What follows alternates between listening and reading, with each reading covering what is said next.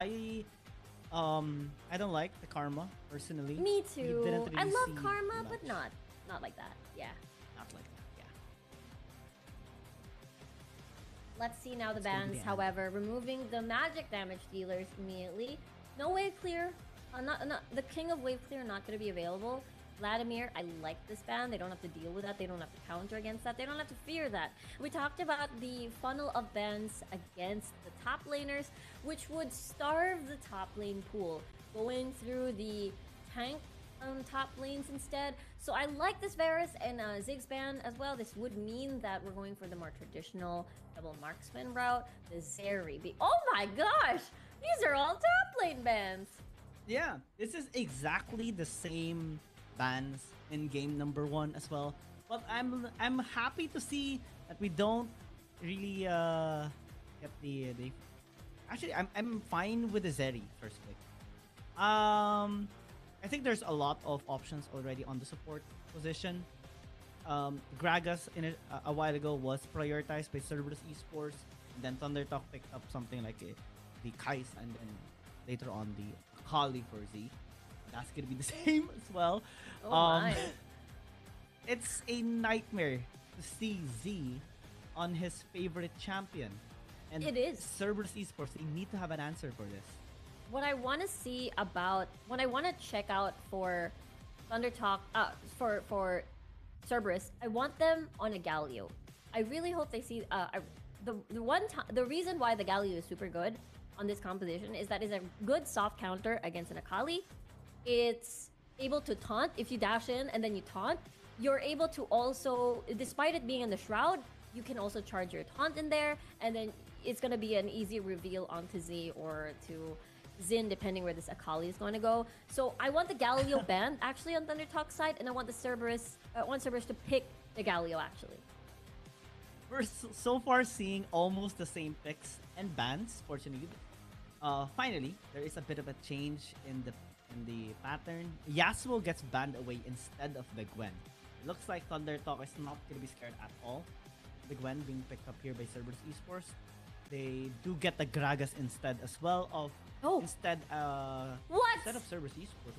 Ooh, Twisted Fate. You talked about this before, Riku. What are your thoughts? Yeah, definitely. I re- oh my gosh!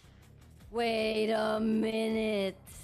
Forget about the Galio. This is a good anti-melee composition. Okay, I, I talked about this yesterday. Remember way, way back when if there's a uh, farming jungler on the opposite side, and that's usually your target, you usually pair your Kaz- your your Kha'Zix with a global champion. It could be a Galio, it could be a Shen. But either way, it's going to be the same um, trick, which is to make sure that you invade the enemy jungler or get priority in the mid lane, then uh, that then then invade the enemy jungler with their global skill. Have the Twisted Fate go alongside with you, and make it into a 2v1. This is usually what you want to do if you want to starve the enemy jungler and basically shut down the enemy jungler and as well as get priority and have more global presence in the side lanes. I really like this from Cerberus. They know this is one of their, I suppose, uh, what is really call it their last shot. This could go possibly into game five. But I love this iteration. I love the biggest the differences in their approach in the draft. Yeah, I love the Twisted Fate. I love the Yuumi pick of Sir. See, They have an answer to Z's Akali now because the Destiny will reveal Z on his Akali. Yuumi, as a utility support, can help out Genza later on to be able to kite the members of Thunder Talk and through the front line of Cerberus Esports, particularly the Ornn and the Kha'Zix, maybe they can find a way to to provide a platform for Genza to strive. Because Thunder Talk still maintains the usual composition that they have, a relatively similar one. The only difference is the Garen, honestly, and the Gragas, but still, they have a lot of initiating tools. They have also that divine, uh, the mass injustice to get that first kill. And that's what I'm worried about, right? Because if you have a Garen on the opposite side, it's also a very good anti um, anti assassin because of that silence. Um, one thing that I fail to acknowledge, however, aside from the twisted fate, I like this. See, this is what I this is what I exactly mean. Not with the globals just yet, but getting priority in the lane. You starve the jungler of their um, of their camp. This is a lane swap. Mm-hmm. Never Lane seen it in a while. while. are actually making uh, really good adjustments as well. They realize that okay, Cer- Cerberus Esports are gonna invade. It's going to be a lane swap. Let's maximize our push advantage in the bottom lane. Start taking third place. It's interesting that because it's gonna be a, a a lane swap, I do feel like the Volibear can just steal the red, um, the red camp at the bottom side of things. But this could be a possible early Garen. This is too risky, however, to tower dive a Garen, so I don't think that's gonna happen. Um, okay, Yuumi. So the way that you play Yuumi is that there it's similar to a Galio without the globals. You make sure that you have a delivery system in place, and that is going to be that Kha'Zix diving in. I'm a bit worried for Taco, however, because this is a dive. Mm-hmm. Tackle gonna be flashing away. X-Spy chases him though. And this should be first blood. It's actually given to Soil, and that's just perfect here for Thundertalk. That's perfect. They're able to funnel that um, the turret plates as well onto the AD carry of, of Thunder Talk. So this is a different Wild Rift that we're looking at compared to what we've been seeing for the past two days. I like this lane swap. It's so much different than seeing two tanks go at it at each other. And it all boils down who gets first blood, who gets first power. I do feel like bottom uh, Thunder Talk will get first tower, however. It's just so much better um, wave clear wise because of the Kai'Sa first skill. And that's why they're able to take this tower down before the top lane of, uh, or before the lane swap of Cerberus. Also fast. Like two minutes in, Thundertalk secures the first tower. Cerberus Esports struggling on top side, so it will take a while. And Thundertalk already has one objective secured. It's gonna help them at least in the initial parts of this game. Cerberus Esports, they need to start making picks. We- We thought you mentioned this before, Riku, right? The the jungle mid lane synergy, the invades coming in, the ganks coming in. Should start here for Cerberus. I think so too. I think it will highly depend on BMM um, being able to get priority in lane because if you leave the lane to the Akali, oh, here's the mid and jungle synergy that we're talking about. Gold, card? Flash. Yeah, There's Yeah, a flash. The Too gold far. call is a little late. Yeah, yeah. Uh, one it wasn't able to set up for Y1 there. The timing was perfect, but the gold card timing is not. Um, one thing that I'm looking forward to is around the five minute mark how they'll they're a, how will they interact as a squad. When I look at it from a five v five perspective, mm, I do think They the can. Yuumi, yeah, the Yuumi and the Ornn makes it so strong for Cerberus to actually take five v fives. However. The the Thunder Talk composition is also good at just exiting the fights because of the explosive cask. So I'm a bit worried for Cerberus if they're able to find the fights that they actually want. hmm I'm also nervous for Genza. Even if uh, even if they have the Yuumi to cut her out, it's still kind of scary. Now the transition towards top. There's, Oh, no. Destiny. BMM still gonna be in trouble. Genza almost got taken out. Fortunately, was able to dash away through the terrain. Thunder Talk unsuccessful in getting kills. They're unsuccessful, but they're also successful at retreating the 3v3. The explosive cask displaces the Yuumi ult, which makes the angle awkward. There is a big chance that you press R and you'll probably uh, you tap R or you tap you tap the skill and you're probably not gonna hit anyone because of that displacement. Oh, Nice, not nice. X-Spy got it. I feel. Oh wait, no, Genza got Genza. it. Nice. Okay, that's fancy. They both have blue buffs, so I got a bit confused. Mm-hmm. Same, same. Good job to Genza. He had, uh, I believe he had vision there through the ward, but timing is also just a cherry on top. For sure. Definitely need that um, spam ability and mana regen if you want to keep clearing these waves on the middle lane. I'm a bit worried for BMM though. So, so, such a squishy champion. That's warded. Doesn't have damage just yet. Again, the level 5, the strength of a Twisted Fate is the numbers advantage. He's not really there to 1v1 anyone. He's, he does not... Pro he's just a stun bot at the moment until when he gets more of his items. Rift Herald has been started, however. Let's see if CS is able to get the fight that they want. They will contest though. Thunder Oh, Talk, cast they use. have, You can use they Yuumi ult. have a good success rate on objectives and team fights, and they turn to Cerberus Esports, already taking Genza out. Well, the Forge X-By goes in with a Stormbringer. Call the Forge God, not really helping Cerberus Esports after you lose three. This is quite advantageous for Thunder Talk. They uh, Cerberus can fight team fights, but their strength lies in getting picks in the side lanes first before objectives even spawn. So, um, that's the issue there. I, again, I, I mentioned that the Twisted Fate doesn't have enough damage just yet. Kha'Zix doesn't Kha'Zix doesn't have damage just yet. Everybody doesn't have damage at the moment. So, in a 5v5 perspective, when there's like three tanks in front of you, it's so difficult to burst someone down if if there's just three be- beefy front lines in, in in front. Mm-hmm.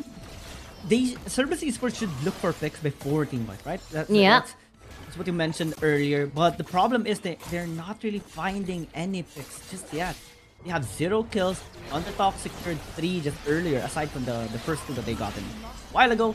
Through the RH, they managed to bash in another tower this time in the mid lane to increase Oh. their gold lead to 5,000 as we reach towards the 7 minute mark. And Dragon hasn't been taken just yet. Cerberus Esports, they have to contest. They can contest. They have to contest. The Twisted Fate can actually teleport and make into a 4v5 if he's in range, but he doesn't have priority, so looks like the Akali can actually go down and make it a 4v5 instead. Oh, Destiny gonna be used, but only to reveal Cerberus Esports is not successful in taking this dragon for themselves, and slowly but surely, Thunder Talk is now grouped up as 5. BMM a little bit late to the party, but it's already over. Thunder Talk has celebrated the victory already, securing 4 kills this time. the point of a Twisted Fate, right, is for the ability to make it into a 4v5, but if you don't have priority, Z was able to walk manually from the from top to the river and still be able to catch up to that Destiny um, uh, teleport. Because the range at this point is not that far. You still have to walk. See, Z is like literally right behind BMM. So it really removes the uh, utility of being able to get to a position first if you're not able to even get uh, again that priority in lane to be first on that place. Yeah, BMM wasn't even able to do Ah! anything in that Okay. fight. Oh, okay. He was able to escape. Soil has 7.3k. That's 2,000 up from Genza. That's how fed he is. That's a lot. That's a lot of kills already. Oh, X bite. Oh, no. He just came back to the lane. And he is already dead once more.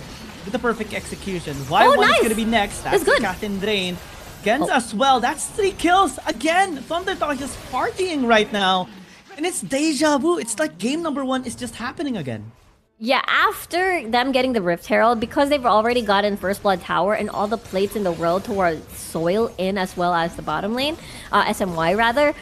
it- after getting that Rift Herald, it was an easy 5k gold lead, and now it ballooned up to 10. The thing about having a Yuumi pick is that it's a buy one, take one for free. Kill one, Yeah. get the next. And it's so easy to whittle down that number um, after that happens. So honestly, honestly, Thunder Talk is doing an amazing job after that lane swap and keeping up with their lead. 703 right now. Onto their Kai'Sa. 703. Wow. And literally, literally, no deaths in Thunder Talk. 12-0 right now in this game. No tower, well, no tower secured yet for Cerberus Esports as well. It has been a an absolutely clean game by Thundertalk. This is why they're just so- good. I mean, we already know their capabilities, but they continue to show it every single time as well.